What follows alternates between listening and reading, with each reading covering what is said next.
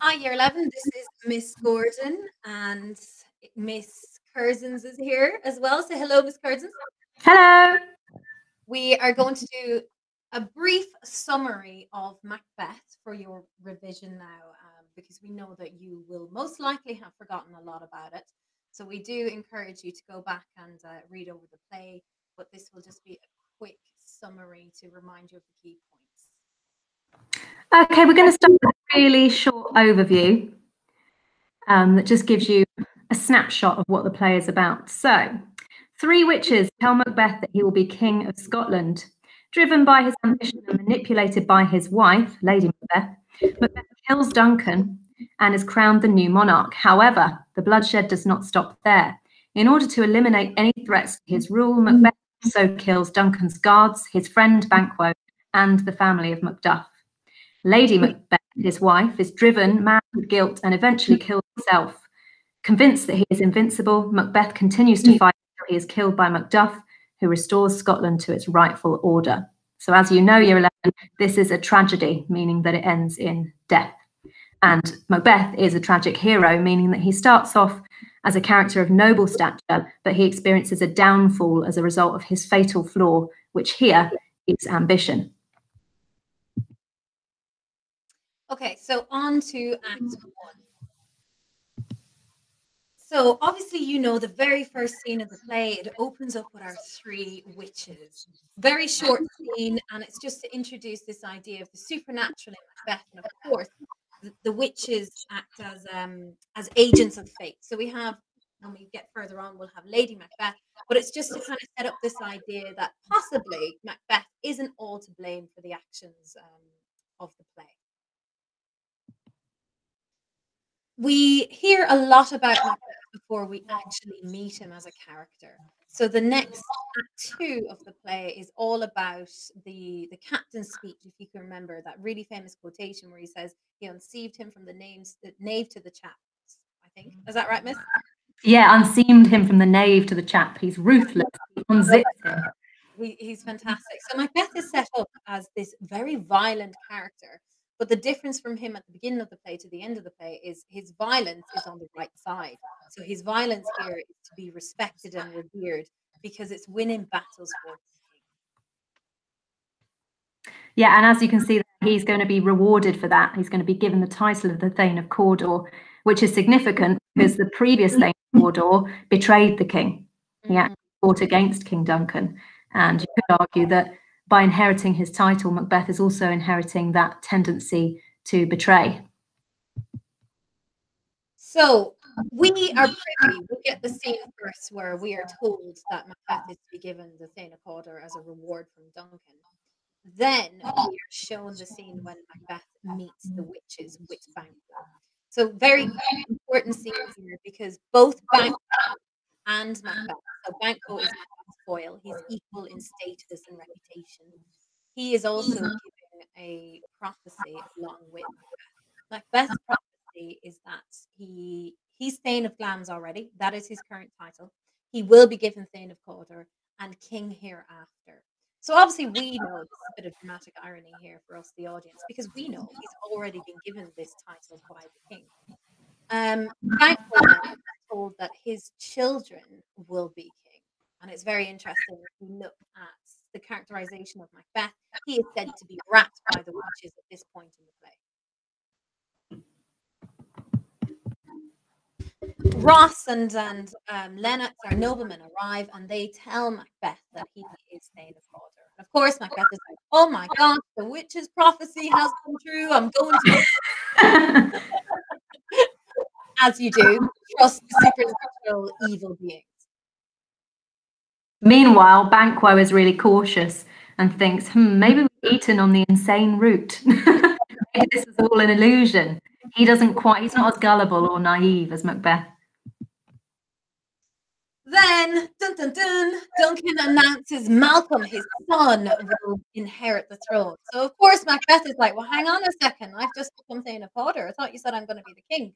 So he, he announces Malcolm as a step, which I'm overleap. And you know, it's quite um, linking there to Macbeth overleaping or over ambition, his fatal flaw, as Miss said earlier. So the second half of Act One is where we're introduced to another key character, which is Lady Macbeth. Macbeth has written to her, telling her about the prophecies and the fact that he's now been given the title of Thane of Cawdor. And this sparks her ambition too. And now she's absolutely determined to make sure that he achieves his uh, destiny to become king, obviously her destiny to become queen. So as she reads the letter, she says, Oh, hie thee hither, meaning come here quickly, so I can pour my spirits in thine ear. In other way, in other words, she's going to persuade him to kill Duncan to make way for him as king. Mm, and I love that. Your very first scene of meeting Lady Macbeth, she's reading the letter, plotting to kill the king. Mm, yeah, so from the start, you can tell that she's not exactly um, the nicest character. um, and then so she tells Macbeth, right, what we need to do is act like the innocent flower, but be the serpent under it. An absolutely key quotation. If you remember nothing else from the play, this is one that you absolutely must know because it's that theme of duplicity, of being two faced, of appearing to be loyal, but underneath be plotting against somebody. Um, and Lady Macbeth follows her own advice in the next scene when Duncan arrives to stay at their castle and she pretends like she's a perfect hostess when in reality she's planning on murdering him. And I love that scene because it shows that Lady Macbeth knows how she's supposed to act as a woman in Shakespeare. Mm. But and she's very good at faking it as well. She's great. and then, just before he's supposed to kill Duncan, Macbeth suddenly has doubts and he thinks, oh, actually, he's been good to me. He's a good king. I have no real reason to kill him. I have only um, no what is no spur to prick the sides of my intent only vaulting ambition. Vaulting ambition, yes, the horse. But uh, yeah, so vaulting implying that you know it's jumping beyond where it should go. It, it's kind of dangerous. But Lady Macbeth arrives and she persuades him otherwise. She says, "Well, you're not a man unless you do it." She says, "When you durst do it, then you are a man." And somehow, by saying that, she changes his mind. So by the end of Act One, he is determined to kill the king, and he's agreed to go ahead with it. Okay, so Act Two then. Well, Act Two opens up with um, we have Macbeth is preparing to kill King Duncan. But what's really, really interesting here is we have our first kind of um, hallucination, or our first guilt-inspired hallucination of the bloody dagger with the handle pointing towards his hand. So Macbeth, we see the the, the first embers of, of his fire of guilt, um, or possibly it's his guilt, or could you argue that it is actually the witches and the supernatural mm. um, influence him even more? That's for you to decide, year 11.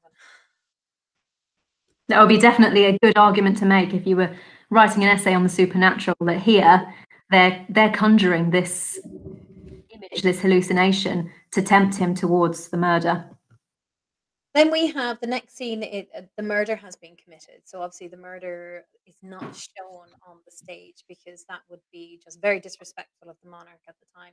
So Macbeth actually commits the murder, but immediately we can see he regrets it because he cries out this very famous quotation: "Will all great Neptune's ocean wash this blood clean from my hand?" Um, so we have this this motif of this this hand washing to wash away his guilt then Lady Macbeth comes in, and she wasn't on stage to hear Macbeth saying that about will all great Neptune's ocean wash his blood clean from my hand. Very ironically, then he comes in. Oh, a little water will clear up this deed. You know, she's like, it's fine. Wash your hands. Don't feel any guilt. No remorse here. Mm-hmm. Very contrasting reaction to Duncan's murder. Then Macduff, our avenging hero arrives. Mm-hmm. Um, so he's been tasked with awakening King Duncan, and he goes in and he finds him dead. So then we have um, Macbeth.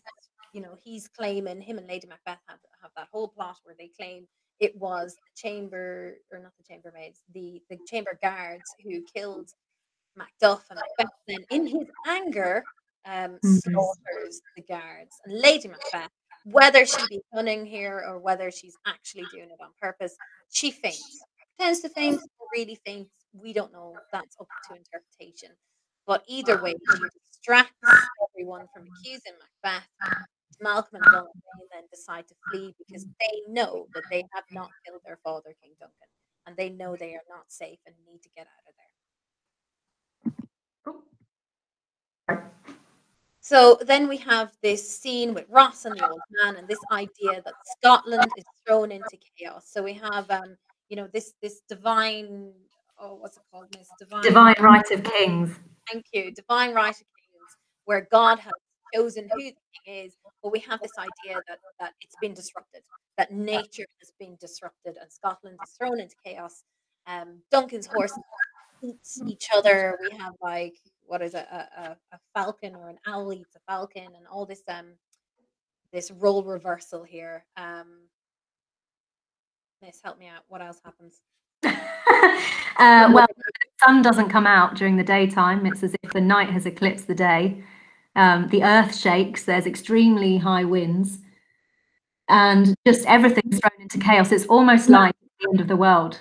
Yes, yes. So Macbeth deciding to usurp Duncan has defied the will of God and thrown the natural world, um, the natural order of the world into chaos. So to some extent, you could say Shakespeare actually, he's like warning everybody, you know, don't try and kill the king Mhm.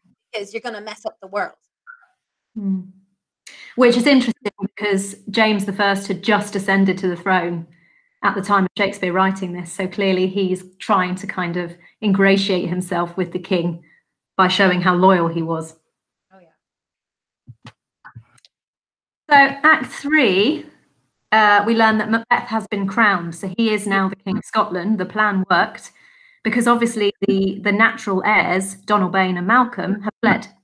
So the, the throne goes to whatever nobleman is deemed uh, worthy, and they've chosen Macbeth. But he's not happy. He feels uneasy because he knows that it's not his line that will inherit his throne. It's Banquo's sons who will inherit the throne. And that really upsets him. And he has a whole monologue about how um, he's inherited a fruitless crown, a barren scepter. He's basically saying it's pointless. He's all of these things. He's sacrificed everything to make Banquo's sons kings. And so what he decides to do then is to have Banquo killed along with his son Fleance. And he hires a group of murderers to do this for him. So the And I murder love, I love that he's, he's getting Yeah. the murderers to do it. He's no longer getting his hands dirty.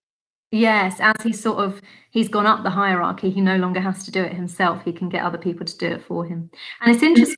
He comes up with an excuse, doesn't he? He says to the murderers, "I would do it myself, but um, Banquo and I are mutual friends, and I I don't want to lose those mutual friends."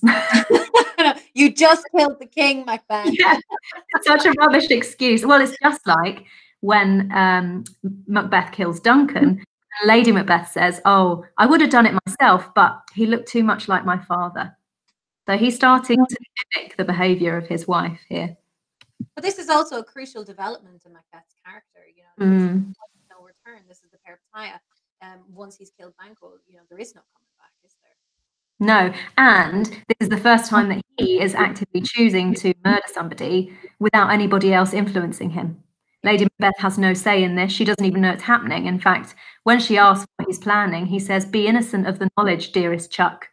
He starts to patronize her. So there's a role reversal where he's becoming the active plotter and she's kind of a passive bystander. So while that's happening, the murderers have gone to kill uh, Banquo, as they've been told to. Macbeth is hosting a banquet for his noblemen. And at the beginning of that banquet, one of the murderers comes in and tells him that they've successfully killed Banquo, but they somehow allowed Fleance, Banquo's son, to escape. And following this news, Macbeth has a hallucination that Banquo's bloody ghost is sitting in his chair. So he can't sit down at the table. And he acts absolutely crazy in front of all of his noblemen, shouting at this invisible ghost that nobody else can see. Thou canst not say I did it. Never shake glory locks at me. So his behavior is really embarrassing, and he clearly is not very sane at this point. And you could argue that this is his guilt coming back to haunt him, or you could argue that it's the supernatural sending the spirit to embarrass him at his own banquet. That's up to your interpretation. You know, I really like this scene in terms of staging because there's so many entrances and exits of Banquo's ghost that it really adds to the tension and suspense. Um, you know, you have to remember also it is a play year 11 and there is an audience and it's made to be seen and, and Mm. there in person, not just read off a page. So I think you have to you have to keep an idea of that in your head, you know, that alternate structure structure of a ghost coming on stage and off the stage. um, really highlights Macbeth's loss of control. You know, he's Mm. out of sanity. Yeah, absolutely. And some directors choose to have an actual actor playing Banquo, and some choose not to. It's interesting because either way, it's quite effective. Not having him there kind of highlights the fact that it's only Macbeth that can see this and really emphasizes his madness. But having him there reinforces the bloodiness of it all because seeing an actual body covered in blood reinforces that theme of violence and death. Um, so at the end of this scene, Lady Macbeth ushers the guests out because she's embarrassed by his behaviour in front of all their guests. And once they've gone, Macbeth reflects that it's too late now. He can't go back. He can't undo what he's done. He says, I am in blood stepped so far that should I wade no more, returning were as tedious as to go over. In other words, I've stepped so far in now, I've killed so many people, I can't undo it and I can't go back. It's too late. You could argue this is a warning. This is Shakespeare's warning to his audience that once you've done something evil, you then set yourself on a path for more evil. Okay, so Act Four then. Act Four opens up again with the witches. So what's really interesting with, with this scene with the witches is we have well, we see Macbeth has decided he has made the decision to seek out the witches because he wants to know more about his prophecy and his future. So the witches is where they have that lovely double, double, toil and trouble, fire, burn, and cauldron bubble. Love that that that like uh, rhyming couplet. It's great. But um, we really see Macbeth's hubris is now his dominant character trait in this scene, actually, because he's really bold and he's given the witches commands. He's like, you know, like tell me, um, and he's mocking them when they repeat things three times. He's like, oh, if I had three years, I'd hear you three times. Um, he's he's really different here than how he was in Act One. So the witches, you know, they they're like, okay, okay, we'll give you what you're asking for, and they give him his apparitions. So the first apparition is an armed head. Now this mm. armed head is warning of like rebellion or civil war, and they're saying, "Beware Macduff." And of course, Macbeth, he's always like, he's like, "Oh, I knew Macduff was out to betray me." Then they tell, they show him a bloody child, and this is where we see this idea of equivocation coming in.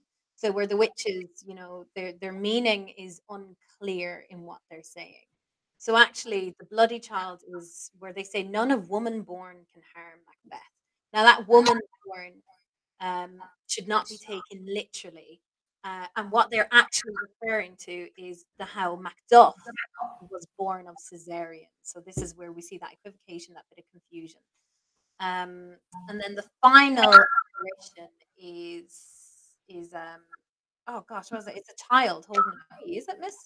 Yes, it's a yeah, it's a young boy holding a tree branch. Yeah.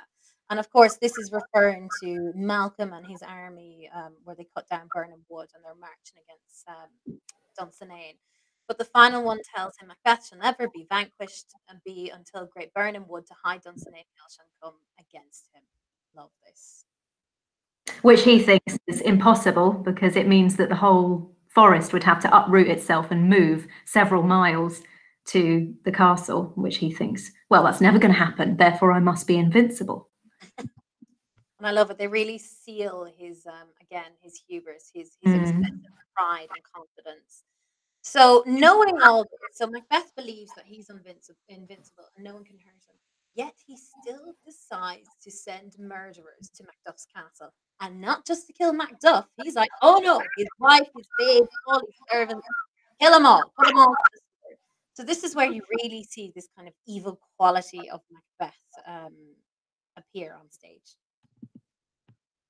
Macduff then um Macduff he's an interesting character because he he is just seen as like he we like to call him Captain Scotland. So in love with Scotland. He's all about Scotland to the point there like he's left his family to go he didn't even tell his wife where he's going. He's just up and left them to go to England to get Malcolm because he's like Scotland is in so much pain. I need to get Malcolm the true heir to come back and rescue us blah blah blah. Um, and then, of course, when he's in England, Ross, who goes down to England, tells him, actually, um, Macbeth has killed all of your family. And he's like, my wife too? All my pretty chickens? yeah, he's devastated, isn't he? In fact, um, a really interesting comment from a student the other day that Macduff could be seen as the new foil for Macbeth at this point. So you used to have Banquo, who obviously represented someone who's also given a prophecy but doesn't give in to the temptation, mm. but dies, so there's no longer a foil. And then Macduff is kind of introduced to the plot, and he's so dedicated and devoted and passionate about Scotland. Meanwhile, Macbeth is destroying Scotland. So you've kind of got a new foil in this character. I always think of him as like just that kind of stereotypical avenging hero. You know, he's mm. Duncan, and now he's like the one who's bringing the army on Macbeth. He's an ultimate revenge and put things right. Um, yeah, and now he, he obviously has reason to hate him even more, mm. being given this news about his family. So, Act Five then starts with a very important scene, and this is one that you absolutely must look at if you ever talk about the character of Lady Macbeth. Um, here you see her sleepwalking, and as she's sleepwalking, she's repeatedly doing the action of washing her hands. And her serving lady has seen her do this several nights in a row, um, and is concerned about her because she keeps saying really sort of um, concerning things about murder and death. And as she's washing her hands, she says, Will these mm. never be clean? She thinks she can never rid herself of the guilt of Duncan's murder. So clearly she is haunted with guilt. Clearly she does regret what she's done. But in previous scenes, we've never seen this vulnerable, weak side of her. So you could argue at this point that what's being exposed to us is the real Lady Macbeth, and that everything up to this point was just a powerful facade that she was just putting on an act of being strong when in reality she does have those feelings and we haven't really seen her for a while now you know she's she's no. been from most of the action of the play for some time and now she comes back in and there's this clear degeneration of her mind um you know she keeps like keeps this compulsion and as i say that i'm here like rubbing my hands together yeah, me too watch yeah. her hands and a change in the role of marriage and who she is she's like she's a shell of the woman she was mm. Yeah, it's another warning Shakespeare. You commit murder, you lose your sanity. Um, eventually, she can't bear the guilt any longer and she commits suicide. So Macbeth finds that out a bit later on in the act, and he's very upset about that, obviously. And I think for Macbeth, knowing that Lady Macbeth is dead and knowing that most of his country hates him and wants to fight against him, it kind of triggers um, existential crisis where he starts questioning the point of life at all. He says, You know, I've worked so hard and for nothing. Mm, that famous speech, tomorrow and tomorrow and tomorrow. Favorites parts. Mm. As if it's all been pointless and, it, and repetitive and exhausting. And what was the po- point at the end of the day? Um, and as preparing for the battle against Macduff and Malcolm, he's really considering himself to be invincible. He doesn't think that he can be defeated because obviously he's been told by the witches that no man or woman born can kill him and he can't be vanquished until the wood has moved to his castle. So he thinks, well, I'm never going to be killed. But unbeknownst to him, the hmm. opposition have actually disguised themselves using tree branches. So from afar, it appears that the forest is moving that the forest is making its way from where it originally was to the castle. So the apparition is coming true.